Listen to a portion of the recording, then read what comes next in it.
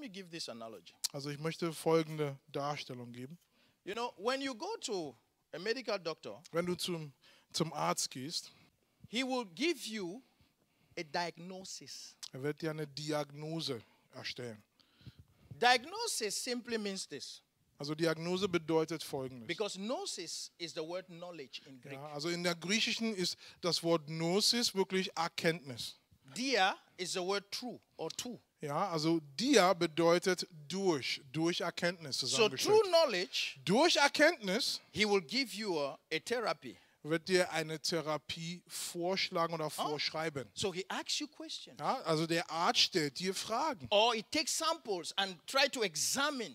Oder er nimmt Proben ab um, und überprüft, also diese Proben werden durch, also überprüft, to see what is wrong with you. um zu sehen, was ist eigentlich los mit dir. But when you come to God, Doch wenn du zu Gott kommst, God doesn't give you diagnosis. also Gott gibt dir keine That's why Diagnose. at times people don't understand our ministry. Und das ist der Grund, warum viele Menschen unseren Dienst gar nicht verstehen. God gives you what in the Greek is called epignosis. Gott gibt dir das, was im Griechischen heißt Epignose. Epig means above knowledge. Ja, Epi bedeutet weit über, Epignose bedeutet eine Erkenntnis, die weit über das natürliche Amen. Erkenntnis ist. So you come with your problem Also du kommst mit deinem Problem say, Pastor, und du sagst, Pastor, I have this problem. ich habe jenes Things are Problem. not working. Die Dinge funktionieren My nicht so. body is feeling this way. Mein Leib benimmt sich komisch. Pastor don't need to get into diagnosis. Also der Pastor braucht nicht einfach mal dich auseinanderzunehmen. Uh, get into history. Ja, zu gucken, naja, in welcher Geschichte steckt hinter dir. Did your father have this? Did your mother have this? Ja, war dein Opa ein Fischesser oder eher ein Fleischesser? Amen.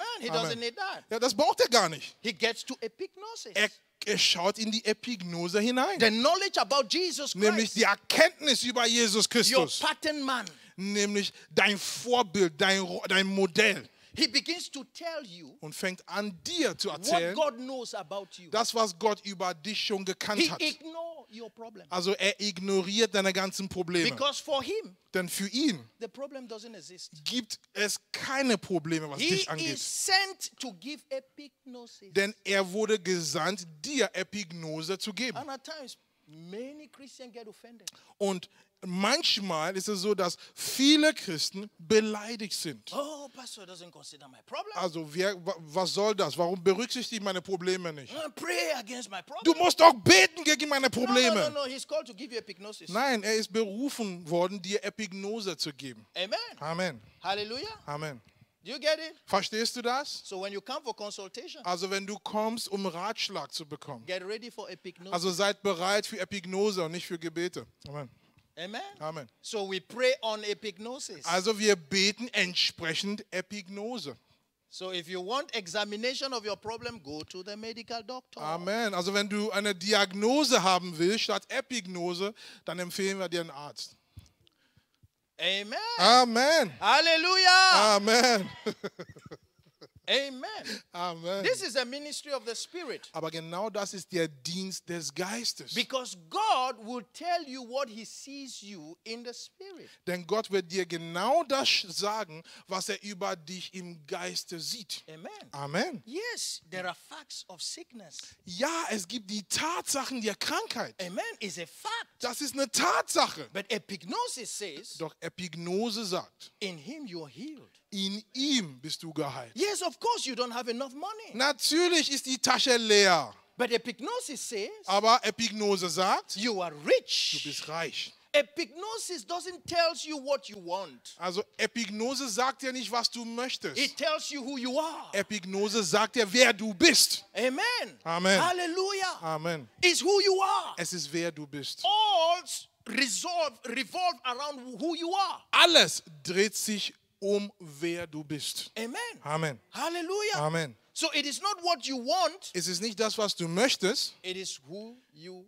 are. es ist wer du bist. Amen. Amen. So when your mind is adjusted, Also wenn deine Gesinnung justiert ist, ignore what your five senses tells you. wenn deine Gesinnung anfängt zu ignorieren, wirklich beiseite zu lassen, was deine fünf Sinnen dir vorschlagen, you begin to walk in the reality of it. Und so fängst du an, in der Wirklichkeit der Epignose zu wandeln. Amen. Amen. Now, Paul puts it this way as I close. Also so wie ich es schließe, hat Paulus das so ausgedrückt. He says, Be not conformed to this world. Er sagt, sei nicht gleichförmig dieser Welt. Amen. Amen. Be not conformed to this world. Romans 12, the verse 2. Römerbrief Kapitel 12, Vers 2 gibt uns diesen Hinweis. But be ye transformed Sondern seid verwandelt by the renewing of your mind. durch die Erneuerung eures Sinnes. Why is he ignoring your circumstances? Warum ignoriert ihr die, deine Umstände in diesem Satz? says, You be transformed. Du sollst verwandelt werden. Because your transformation Denn deine Verwandlung is the transformation of your circumstances. ist die Verwandlung deiner Umstände. Everything about you Alles, was dich is angeht, in your mind. ist in deinem Sinn. Your world is in your mind. Deine Welt ist in deinem Sinn. Amen. Amen. Hallelujah. Amen.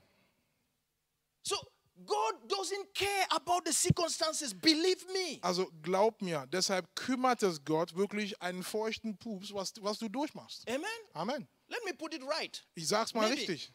God, in solving your circumstances, Also wirklich, um deine Umstände zu lösen, deine Probleme zu lösen, alles, was er tut, ist, er verwandelt deine Denkweise. Amen. Amen. He works on your mind. Ja, er arbeitet an deiner Gesinnung.